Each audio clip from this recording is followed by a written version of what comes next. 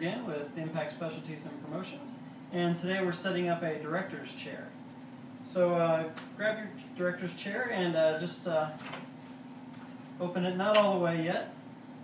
We'll pull up the two arms, and then grab the uh, fabric for the back of the chair. Locate the pockets on either side.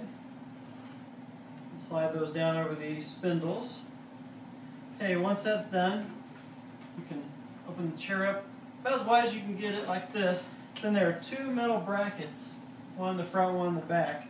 And you can take a tool uh, to press those down, or uh, oftentimes I'll just use my foot and just give it a quick push down. Just so you can kind of see it.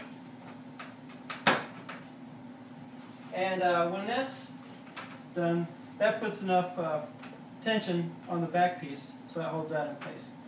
Then when you're ready to go, just reverse it. So we're going to pull up on the metal brackets. Start folding the chair to take the tension off the, uh, the back fabric. Fold that in half. And then set it lengthwise in the chair pocket. Fold your arms down.